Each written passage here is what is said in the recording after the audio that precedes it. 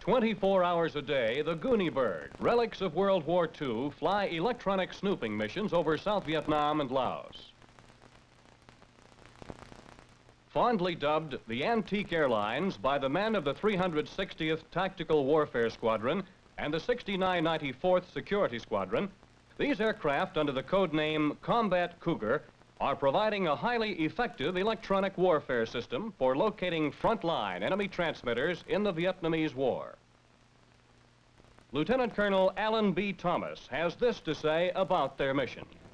Our job is to conduct airborne radio direction finding operations against the enemy transmitters in the field, to gather intelligence from their transmitters, and while airborne, to relay this information to U.S. field forces our parameters as specified by MACV are accuracy, timeliness, and quantity. We strive first of all to position the fixes as accurately as possible, and this can be done to as close as 250 meters. Secondly, to rapidly pass the fixes to our field force customers, and thirdly, to get as many fixes as possible in a seven-hour flight. One hour and 15 minutes before takeoff, the crew receives a classified briefing. Intelligence, en route weather, operational data, scheduled times, and emergency procedures. The navigator and DF operator pass on to the crew the initial Doppler set point, heading to the assigned area, and information about the radio activity to be expected. The general location of enemy transmitters and specific targets on which friendly commanders have requested priority information is also passed on, as well as potential visual reconnaissance points. The C-47's minimum crew consists of pilot and co-pilot, the flight engineer, a navigator, and two DF operators. All must work closely together at all times, as the premium on teamwork is extremely high.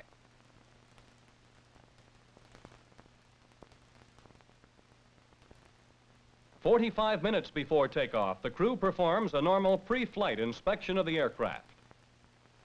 At 25 minutes, the engines are started. Immediately after takeoff, the initial Doppler settings are made using a set point, which may be as close as five miles. Bien Hoa Bridge, for example, is frequently used for this purpose. Once the aircraft is airborne, the pilot levels off and warns the navigator at about three miles from the selected set point. The navigator, sighting through the drift meter bomb sight fashion, directs the pilot to maneuver the aircraft directly over the set point for a visual fix.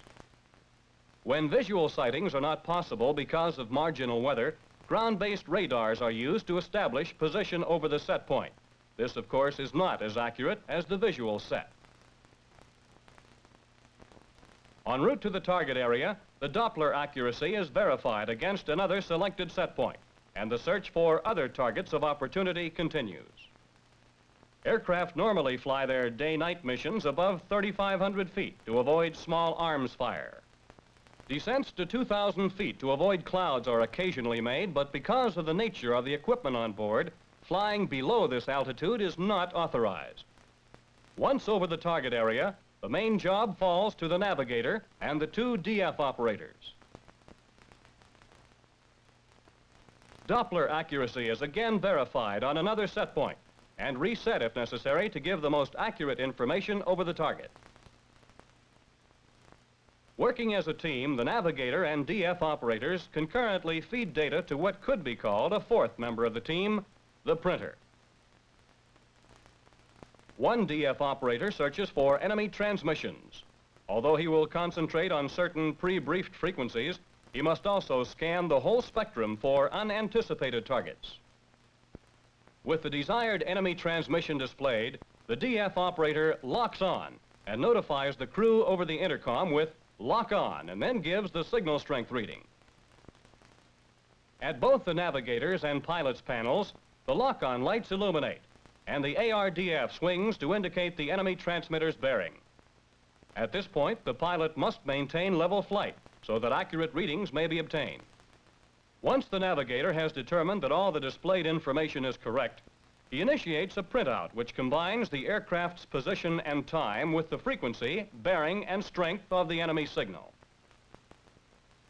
Selecting the best combination of information from the tape, he uses this to plot the aircraft's position and bearing to the transmitter, thus giving him the first line of position, or LOP. Now the aircraft is flown into an area of stronger signal strength, and the same procedure is repeated for a second and third time, resulting in a fix. Verification is again made by checking the Doppler accuracy against the initial or another set point and correcting for any accumulated error. Meanwhile, the flight engineer is busy dropping Chieu Hoi leaflets to cover the real purpose of the mission. He also observes the ground for any unusual activity. Typical of an incident was the spotting of enemy troops along a road. A forward air controller was requested, found unavailable, so the Artillery Control Center requested the aircraft to serve as artillery coordinator. Mission experience has shown that the optimum flight path for ARDF operation is a straight line. This requires the aircraft to be in position to receive an optimum signal from the enemy transmitter, thereby causing the ARDF needle to swing rapidly. When a minimum signal has been picked up, the aircraft is flown directly toward the target until the signal strength increases to near maximum. The closer the approach, the stronger the signal, and the further off the nose the pilot maintains the bearing. Thus, the cone of silence over the transmitter is avoided, which would cause the ARDF needle to spin or hunt, producing incorrect readings. Frequently, only two lines of position can be obtained before the transmitter goes off the air, but we don't disregard this information. In this case, we proceed to the next desirable LOP location. Then, if the transmitter starts to send again, we are in a position to obtain the third LOP and complete a fix that might have otherwise been disregarded. By flying a straight line path, there are no telltale maneuvers to alert enemy operators or ground observers to the purpose of our mission. Experience has shown that this procedure results in an ideal LOP with good angular separation. The straight line path also is the easiest to execute and employs the full 360 degree capability of the equipment. The ultimate goal of Combat Cougar is to provide our ground forces with enemy movement information in sufficient time to react effectively. For experienced crews, less than 10 minutes is not unusual. Fast reaction time, aided by electronic surveillance, is enabling our forces in Vietnam to counter the enemy punch for punch, day by day, in the battle with a faceless enemy who moves along undefined lines.